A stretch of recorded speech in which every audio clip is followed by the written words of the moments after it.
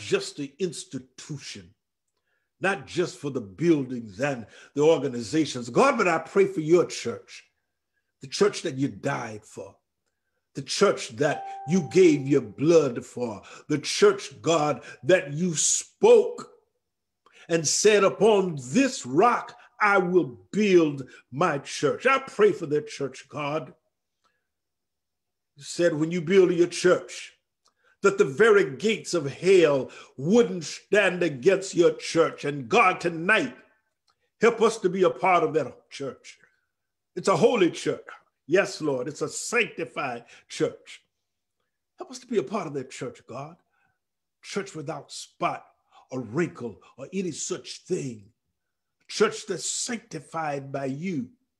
Church that's kept by the Holy Ghost. We want to be that church. We want to be righteous.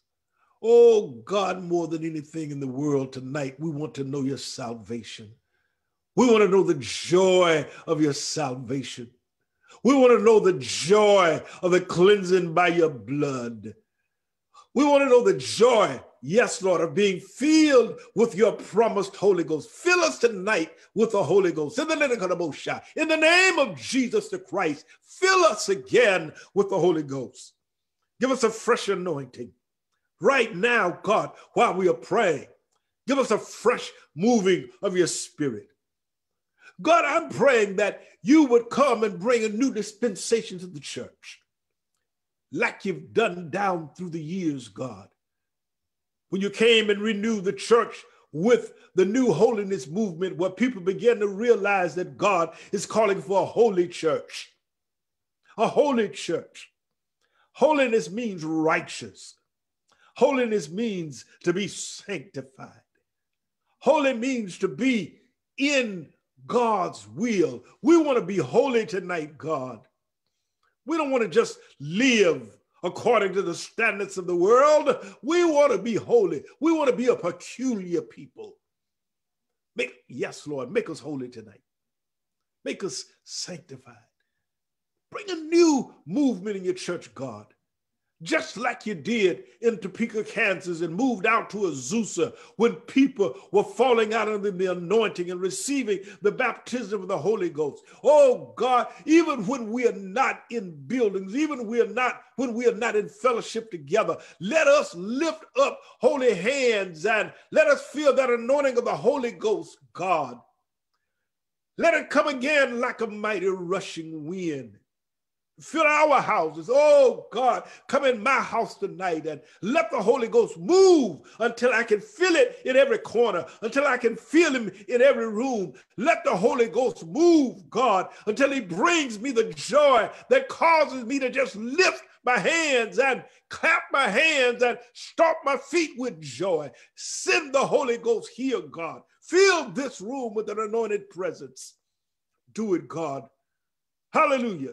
Do it, God. Do it because you promised it. Do it because I believe it and I'm waiting for it. Fill us again. Now, God, look upon the world. so much conflict in the world now. God, we keep reminding ourselves, and even as we remind ourselves, we look to you and we remind you, though you need not be reminded. We just remind you, God, because we want you to know that we believe it. You said, if my people, hallelujah, you're sanctified and holy people. You're people who, who believe in you. You're people who are committed to your will and your way. If my people, which are called by my name, will humble themselves and pray, seek my face, turn from their wicked ways, then then will I hear from heaven. I'll forgive their sins. And I'll heal their land. God, we're your people tonight. We're crying for change. Oh God, this world now not only is sick with COVID, God, you can heal from this pandemic. You did it so many times, God. We know the Bible, we know your word. When plagues came, when pestilence came, after a period of time, God, in your timing, you came and took them away. God, now the government, medical science, politicians, and doctors are trying to do what they can with this COVID, but it's your problem, God. You're the only one ultimately that has the solution. Heal, God. Take it away. Ah, take it away. Oh, God, do it because we ask you. God, you promised us that if we would pray, you would change things. And we're praying tonight. Hallelujah. We're praying in faith. We're praying and believing. Take this COVID away, God. Protect us from it. Build a fence around us, God, that a wall, God, Treat us like you treated the children of Israel when you said to them, No weapon formed against you shall prosper. God, don't let the weapons of the world, don't let those weapons, whether it be COVID or conflict, or anything else, don't let it prosper in our lives. Protect our homes, protect our families, protect our church home, protect our church family, protect our fellowship. Don't let it come nigh us. Oh God, we live in a world where political corruption flourishes. Immorality is the order of the day, lying, cheating, stealing. Integrity, God, is not even known. But you're God. Change it. Fix it. Fix it, Jesus. Fix it like it ought to be fixed. Hallelujah. Change it, Lord. Change it, Lord. God, I pray now that you would give us hope again the hope of your glory, the hope of your presence. Hallelujah. Hope that comes only with you and through you. We believe tonight, God. Fix it. Fix it. Fix it. Fix it. God, we turn on our televisions we listen to the news media. We buy the newspapers and we read the newspapers. But God, only good news comes from you. The only reading of what is true and right and has the solution is your word. Give us to be about your word. Give us, God, to listen to you turn a, the ear of our hearts, the ear of our souls, the ear of our minds to you. God, we listen.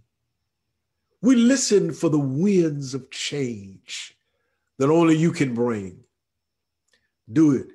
Thank you, Jesus. Do it tonight, Jesus. My God, my God.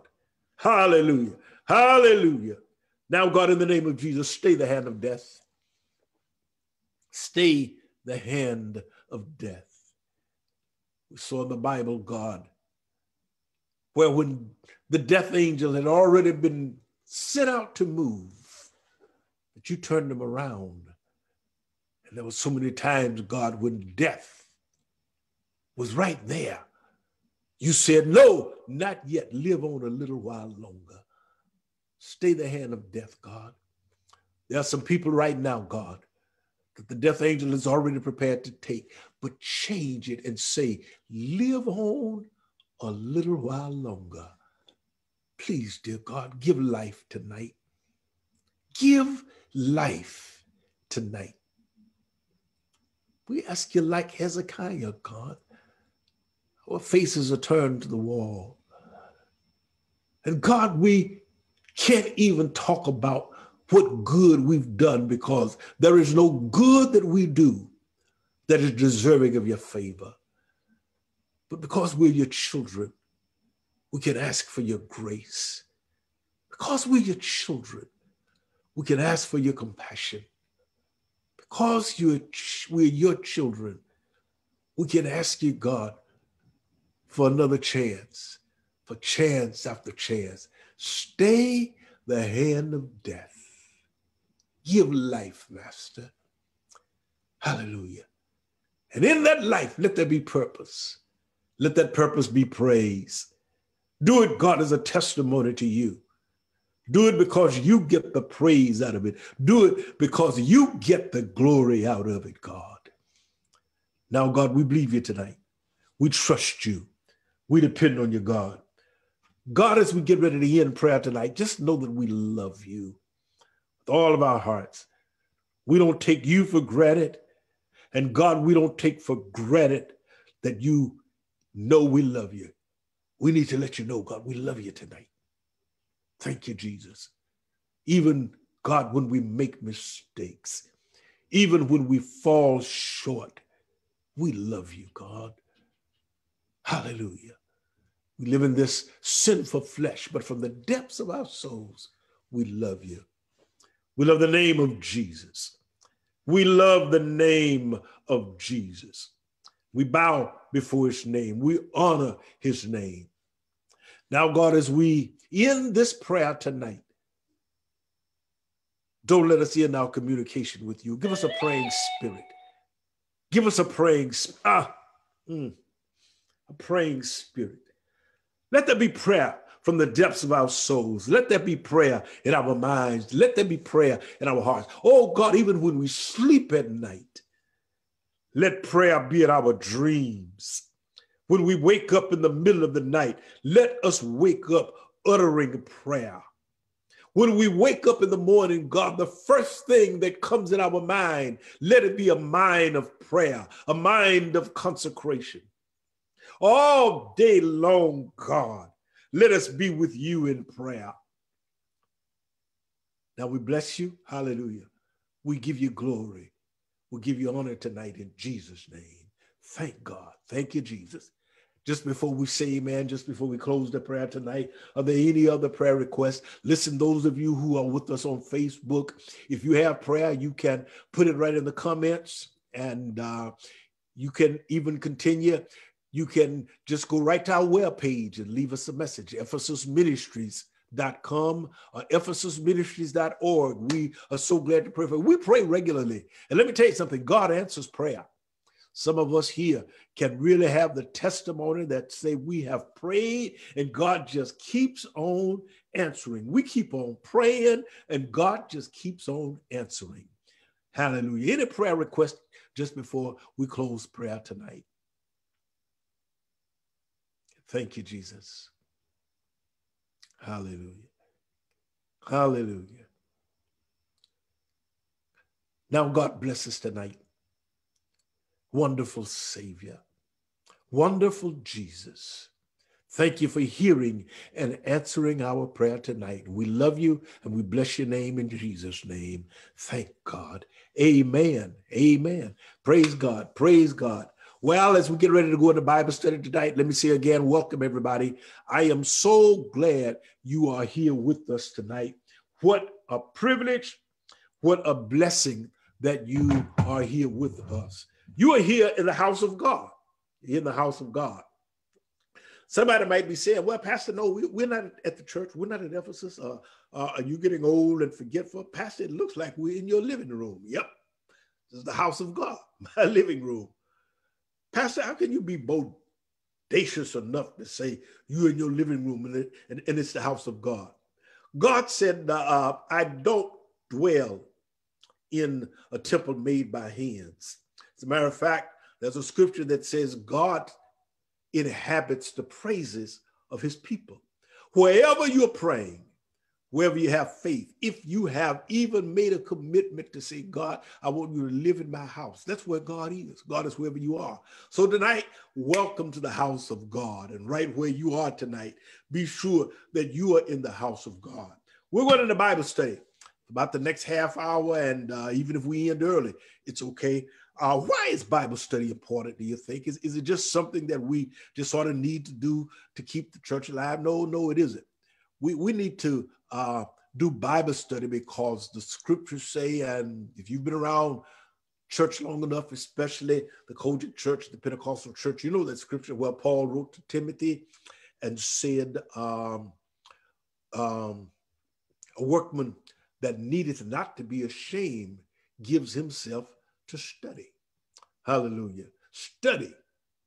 He said, well, it said it like this study to show thyself approved unto God, a workman that needeth not be ashamed. So you got to get in the word. You got to get in, the word. And, and I tell you, the word is so absolutely wonderful.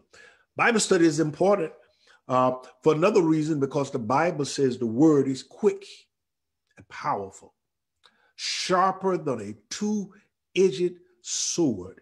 It, it, it, there is power in the word. You've got to be in Bible study because if you don't know the word, you don't have the power that is accessible to you. You got to know the word to know the power that you have. Finally, we got to study the word because the Bible says, let this mind be in you, which was also in Christ Jesus. You got to keep your mind active. Anybody that does not read, that does not study, your mind loses some brain cells. But when you study, when you read, uh, my mother, as she went into her senior years, uh, uh, we always grew up in, in a home where we were reading and writing. And in her senior years, you would always find my mother, if she was sitting down, had like a puzzle book or something to read, something close by. Even my father, my father only had an eighth grade education and he was not much of a television watcher. You would find my dad with two things um, uh, the Bible, and sometimes he would have a dictionary or some informative books around. He was always reading in his extra time. Mama would either be reading or sometimes she would just be sitting down and working puzzles either crossword puzzles or those uh, word search puzzles. And she always says, I've got to keep my mind active. I've got to keep my mind active. If you uh, don't keep your body active, it will atrophy. If you don't keep your body active, it, it tightens up and you'll die early. If you don't keep your mind active, you will be brain dead. You know how many brain dead people they are walking around? They never read, they never study, and uh, it's a shame. Uh, there are some people who uh, they say they are saved and sanctified, but they just don't do Bible study. I would never say they are not saved and sanctified, but there's a little spiritual death about it because you got to know the word. Pastor, why are you talking about all of that? Because I need to strictly emphasize how important Bible study is tonight. And I know I probably am preaching to the choir. So y'all get out and people who don't get into Bible study, tell them pastor said, you ain't be coming to Bible study. You might be brain dead. You better check your brain. Check your brain. Yeah. Tonight, we're going to look at the book of Jude. In the, in the weeks coming, uh, we are going now into very, very holy season, the season that we commemorate the death and the resurrection of Christ. And we ought to do it justice. Um, again, the Bible says, You shall know the truth, and the truth shall make you free. And even if we are going to observe the crucifixion and the resurrection of Christ, we ought to know the truth about it. And uh, you all know me. Uh, I am. Uh, I, I sometimes think a little differently, but it is because I read, I study, I wonder, and, and when I wonder, I, I look things up and study about them, and and so uh, I just don't necessarily believe some of the things that that that typically a lot of other people believe about Easter and stuff like that. I, I, I certainly uh, I've never believed that a rabbit lays eggs, especially chocolate eggs. I I, uh, I didn't even didn't even need to study to wonder about that. But that's some other things that we're going to be talking about in coming weeks. I want to preface uh, this study tonight by looking at the book of Jude how do we take what's going on in the world now and not just in, in the global world and what is in the news media, but in our own particular lives. We, we live now in a world, I, I don't believe that you can really say that the stress of this world does not impact you. It impacts our families. What's going on with our children and, and not getting the education that they ought to be getting. And, and uh, as a result of that, their minds are suffering. It, it's stressful to us. All of us know and have known, I should say, people who are going on to glory, people who have passed away. That impacts us. And even if you just listen to the news and keep watching the hanky panky that's going on out there, and I just see it like that, it's it's a it's crazy, just unbelievably crazy. One of the things, let me let me throw this in real quick. The, you know, as to what's going on with the governor now, what amazes me is recognizing that it has less to do with morality than it has to do with politics. And I want to say to people, how dare you mix morality with politics? You know, um, I wish I could talk more about that, but I need to get into the word tonight. So we're going to look at Jude. Jude was, uh, he called himself a servant of Jesus. And it is sort of commonly known that he was the brother, the, the actual blood brother of Jesus Christ, one of his followers and one of his servants. Jude wrote just this one book. It's not a long book, but it is such a powerful book. And so um, now uh, y'all get to know me. I love the word. I love the word right from the word. And so I'm going to read it in the King James Version tonight, the entire thing. And then I'm going to read it in the uh, Message Bible. And so read along with me. Uh, by now, hopefully, you should know if you come into Bible study, bring your Bibles along with you. Listen to what Jude said. Jude, the servant of Jesus Christ and brother of James, to them that are sanctified by God. That's me, y'all. you, you ought to pat yourself when I say that and say, Jude was writing to me, them that are sanctified by God the Father and preserved in Jesus Christ and called. We're sanctified in God and we're preserved and kept in Jesus Christ. Uh, one reason the world is in so much trouble is because God makes it clear there's a difference. You cannot be like everybody else and say that you are called and sanctified in God and Christ Jesus. It's only a few, as a matter of fact. And aren't you glad you are part of that few? That one day he saved you and sanctified you and filled you with the Holy Ghost. Listen to what Jude declares and leaves to us, and this comes from God. Mercy unto you, oh my God. Let me let me pause there for a minute. I'm so glad for God's mercy because you you hear me saying that I'm saved, sanctified, baptized, and filled with the precious Holy Ghost, and that with the mighty burning fire. But I'm so glad for God's mercy. Because if it were not for God's mercy, God would say to me sometimes, Jeff, you don't deserve to be saved. Hallelujah. Because I recognize there is no good thing that dwelleth in me. I keep on saying it, y'all. I, I keep on saying it because we've got to keep on getting it. We are never good enough, never good enough to be sanctified. Maybe your sins are not the sins of other people. Maybe you don't do drugs. Maybe you don't smoke. You don't drink. You don't commit adultery. You don't commit fornication. You don't lie knowingly. You don't lie knowingly. But Ephesus, y'all have heard me say, if you borrow some money, you borrow it and anytime you borrow, there's a promise to pay back. And when you don't pay back, you have lied. You've cheated. You've stolen. So maybe you don't do a lot of self righteousness becomes a sin.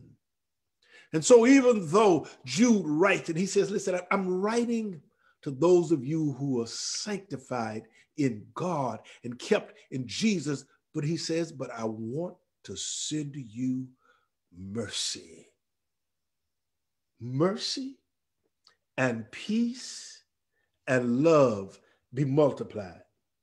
Beloved, when I gave all diligence to write unto you of the common salvation, it was needful for me to write unto you and exhort you that ye should earnestly contend for the faith. Jude said, Listen, I, I just wanted to, to write to you about our common salvation.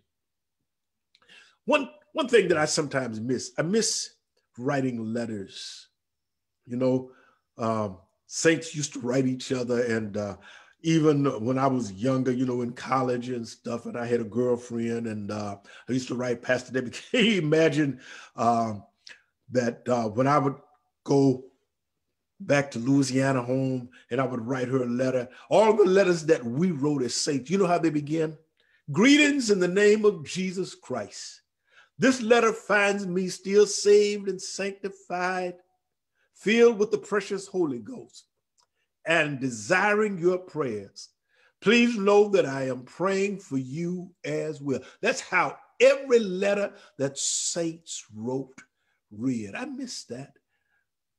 You know, maybe when we uh, send out text messages now, or put on Facebook, we ought to start saying greetings in the name of Jesus the Christ. That's what Jude was doing. He said, I just wanted to write to you of our common salvation. Do you, do you know that, that one thing saints ought to do? We ought to be so glad for our salvation that we ought to share with each other. Do you ever tell anybody, I'm so glad I'm saved? Hallelujah. I'm so glad I'm sanctified. Do you ever get into conversations where you say, Isn't it great being sanctified? Or isn't it just good being holy? Do you ever spend time together and, and you just simply say, I'm so glad God saved me? Woo, hallelujah. That's what Jude was doing. He said, I just felt like writing about our common salvation. I, I was in a meeting with uh, a brother today. I just met him for the first time. Uh, he's, he's, a minister, and where I work, there was a lady there. Uh, when she met him, and uh, she said, "You look like a preacher," and he said, "I am." She said, "There's another preacher that works here, Jeff Carter," and he said he gave her his card, and says he'd give her my card, and uh, she came back and she says, "Oh, this this gentleman asked me to give you his card, and I called him. And the day we had a lunch, met for the first time ever. It was such a glorious meeting, just sitting there enjoying each other's company. And the one thing that we said is, you know those who are saved by the blood of the Lamb, because there's a similarity, there's a commonness, there is a like among them. That's what Jude was saying. We have a common salvation. You've heard me teaching Ephesus that, that if you really are saved, if you really are sanctified, that, that even when you get around people that have never met you before, they ought to know that there is something different about you. On your job, in your neighborhood, do people know that there's a difference about you? But then Jude said, but there's something even more important. He says, when I first started writing, I just wanted to write about being saved. Wanted to write about the joy of having the Holy Ghost, the, the peace that comes with God's presence.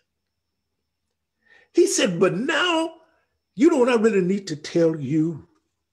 You know what I really need to exhort you? Earnestly contend for the faith which was once delivered to the saints. Listen, if there is anything that I can tell you tonight, I want to tell you fight for your faith. Fight for your faith. Never give up. As a matter of fact, Jude made it even a little bit stronger. And, and while I'm talking, I'm, I'm taking my uh, phone out so that I can get my message Bible. So if you see me moving, listen to me. Let me uh, announce once again: we are totally not professional. I set up for Bible study tonight here in my living room, and uh, I recognize I've done quite a bit of television. And when I go into the television studio, I watch them moving lights around and they're moving curtains around, and they're telling you to turn a little bit this way because it is unprofessional to see any shadows. If you ever look at television and movies, you see absolutely no shadows And I said, when I set up tonight, man, these, these, these are a whole bunch of shadows here behind me. And then I said, I better let people know we are not professional. It's just us home folk doing the best we can. And so if you see me moving around and everything, I am not professional at all. We just home folk with the word. Here's my message Bible. Let me read those first couple of verses from the Message Bible. I, Jude, am a slave to Jesus Christ and brother to James, writing to those loved by God the Father, called and kept safe by Jesus Christ. And then when he wrote this, it got me. He said, Relax. Everything's going to be all right. Rest. Everything's coming together. Open your hearts. Love is on the way.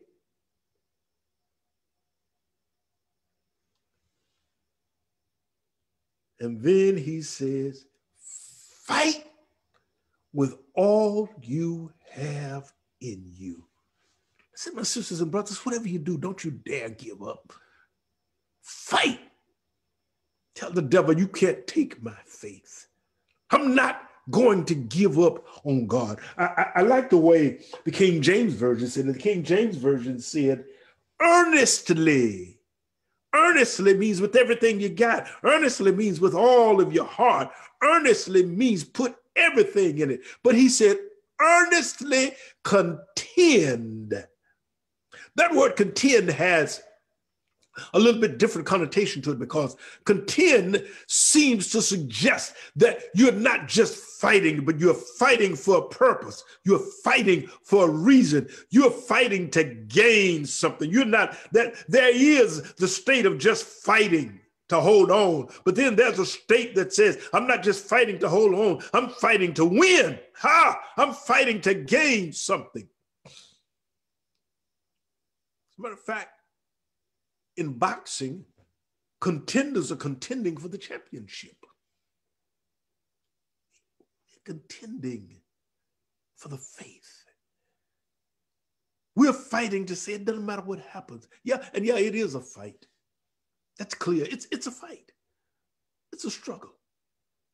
Life is not meant to be lived like, like the old song and the old folks said, on flowery beds of ease. It's a fight. How do we fight? You fight with your prayer.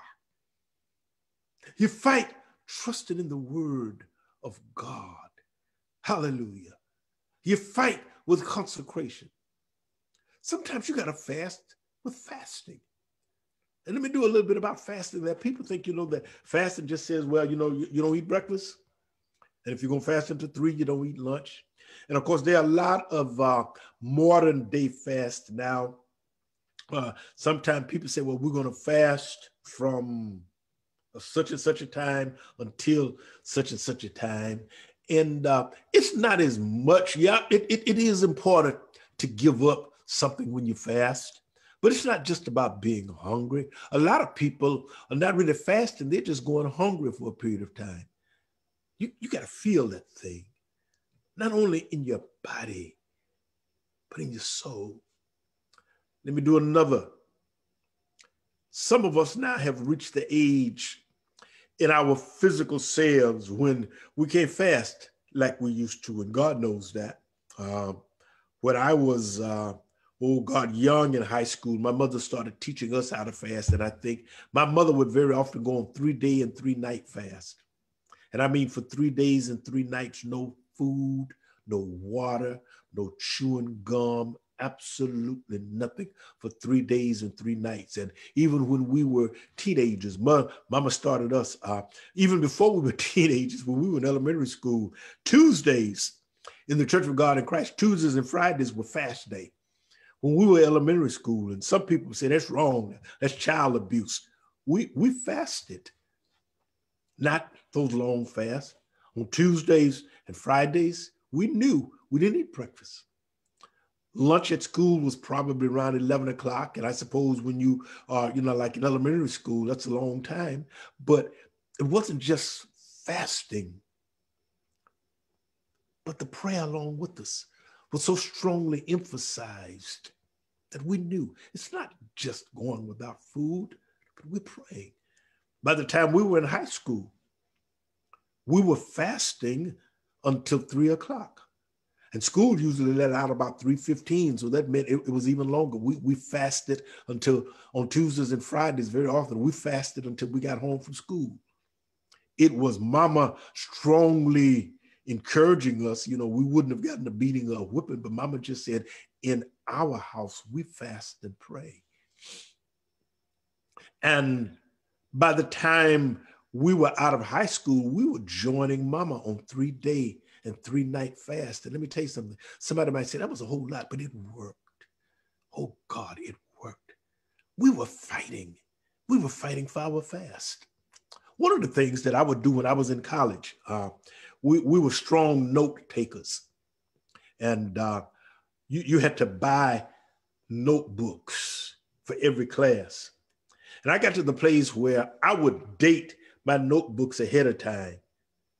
I would date my notebooks like uh, I think today is the 10th, so yesterday was the 9th. That would have meant Monday was the 8th. I would date my notebooks that I was going to take notes in in school, and my notebooks would be dated Monday, March 8th. Next couple of pages, Tuesday, March 9th, Wednesday, March 10th, so on. And then on that day that was Tuesday, March 9th, I would just put right at the top of the page, fast day. Pray. All through my notebook would be written, fast day. Hallelujah. Pray. And I did. Encouraged me to fast and pray. Pastor, are you telling us now that we got to go on three day and three night fast? Nope, not if you don't want to. But probably doing a little bit of fasting ain't gonna kill you, it ain't gonna hurt you. It's a way to fast. It's a way to fight. It's not just abstaining from food, though. Somebody might want to say, you know what, I, I just need to give up some television. I need to give up some of those things that call my attention because that's the only way I'm going to get into fighting mode. Fight with all you have. And I like what King James Version said. Earnestly contend for the faith which was once delivered unto the saints. I, I sort of don't like here that uh, the Message Bible, um, he, he uh, the, the writer was not Pentecostal, and sometimes things that really uh, talked about the saints, they sort of left it off. And the, the King James Version says, earnestly contend for the faith which was once delivered to the saints. I, I so badly want to go back to the old time way, that old time way where we co- were committed to fasting, where we were committed to praying Listen, Ephesus, those of you who have been with me all the time, don't, don't forget that our last year, maybe almost two years, yeah, last two years at uh, Prince of Peace, Pastor Debbie said, The Lord put it on my heart that every first Friday night that we would have a shut in and we started approximately 10 o'clock. Every first Friday night, we started at approximately 10 o'clock and we shut in until six or seven o'clock the next morning on our knees in prayer. And some of us stretched out on our bellies in prayer. And, and I tell you, I love to stretch out on my faith and, and all night long from 10 o'clock p.m. that night until 6 or 7 or sometimes 8 o'clock the next morning, we would be stretched out in prayer every night. When we first started Ephesus, I don't know if some of you remember now, we brought the same thing to Ephesus. I remember many, many cold nights. All night long, we would be there in that stone cold building praying all night long. I, I, think about Mother Guilford now. I hope Mother Guilford is on the line because Mother Guilford lives out not far from us. And Mother Guilford, I don't even know if you remember some of them um, Saturday mornings about 7 or 7.30 when uh, we were leaving and uh, me and Pastor David were dropping you off at home, but we prayed all night long. Some of us now might have gotten older and we can't do some of the things that we used to do, but we need to pray and encourage and teach our young people fight for the faith that used to be in the church. Faith and righteousness, faith in holiness. Let me read one or two more verses. But I really wanted to get across to you. Fight for the faith. Contend for the faith. This is what Jude says here why we need to fight. And I'm going to close when I read this. He said, For there are certain men crept in unawares, who were before of old ordained to this condemnation, ungodly men, turning the grace of our God into lasciviousness and denying the only Lord God and our Lord Jesus Christ. I will therefore put you in remembrance, though you once knew this, how that the Lord, having saved the people out of the land of Egypt, afterward destroyed them that believed not. Let me tell you something. Don't take my word for it. Just hang around and wait. God has said, I'm getting ready to change my church. He, here Jude said, certain men crept in unawares. He said, but let me remind you that when it happened before, God saved the people and destroyed them that believed not. Saints, we live with a God of mercy, but he's still a God of justice. And I really hear God said, I'm going to change some things. And in order for me to change some things, I've got to move some stuff out of the way. I, I, I, guess I just have too much compassion to say for to say that God is going to move some people out of the way. I'm just saying God is going to move some stuff out of the way. Let me go down and close. I'm going to the last verse in Jude. And uh, give me a second. You all are still with me here. Verses 24 and 25. I love these verses. In Genesis, the Bible said, when God made man, he said to man, I give you dominion. I give you dominion. Now look at what God says.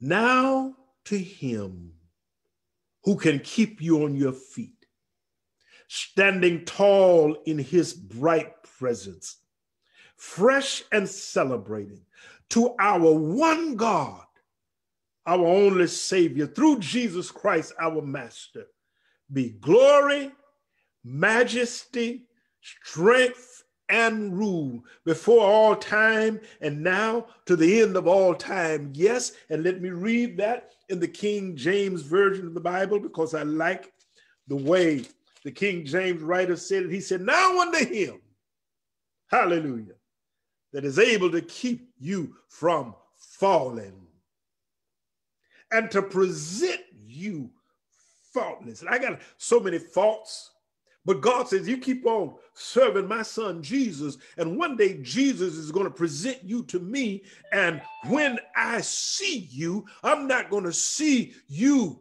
for who you are. I'm going to see you through the eyes of my son Jesus. He said, and Jesus is going to present you faultless. Hey, before the presence of his glory. That's why I'm going to keep hanging out with Jesus. Because when Jesus takes me on the day of judgment, he's going to say, God, look at Jeff. He's got no fault in him. I, am not going to take a chance on doing it by myself. I'm going to stick with Jesus. He said, Now to the only wise God, our Savior, be glory. That's what God wants, church. No matter what's going on in your life, just keep telling God, God, get the glory out of my life. God, even if it's suffering, get the glory out of myself. God, I'm crying, I'm hurting. But can you get glory out of my tears? God, let me help you get glory out of my tears because even while I'm crying, I'm going to lift my hands and say, Thank you. Even while I'm hurting, I'm going to find a way to say, God, even in my pain, praise you. Glory to God. God, get a testimony, hallelujah, out of me. Now be glory and majesty And God said, That dominion I gave you now, He said, dominion and power, both now and forever. God, get the glory out of our lives tonight. If there is anybody listening to me, God, who is just about to give up, if there is anybody listening tonight who even feels so overwhelmed that they want to give up, even God, if there is somebody that's saying, I want to hold on, but I don't know how. Mm. You get the glory out of their lives and let them know, God, that whatever they are going through, you have purpose in it. You have a plan in it, and that you work it out for their salvation. We bless you, we glory in you, and we honor you in Jesus' name. Amen. God bless everybody. Listen, those of you who are listening tonight, join us in prayer. If you want to know how to join us in prayer, just uh, check our website, ephesusministries.com, ephesusministries.org. You can contact us directly through the website, or you can contact us at ephesusinfo at gmail.com. We'll be so glad to hear from you. But until then, please know that we're praying for you. God bless, and we will see you soon. Thank you.